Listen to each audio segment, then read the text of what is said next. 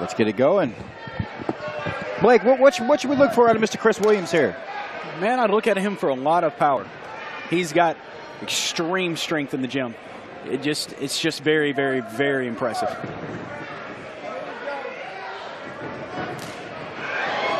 Oh, nice knee there from Jonathan King.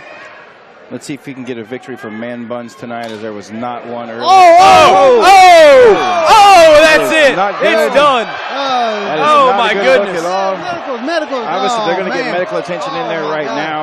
All right, they need a. They need Mr. a, Williams is, is, uh, definitely has a broken leg That is there. a broken leg. We need a. We need to get Broken- the medical team out here right now. We Oh are- wow, that was a we are going to have to take a short, Short break here, guys, short intermission. for this to be addressed. Oh my. Medical team needs to be on on standby right now. Lucky that doctor got The, right doc- in the there. doctor's already in there right now. All right.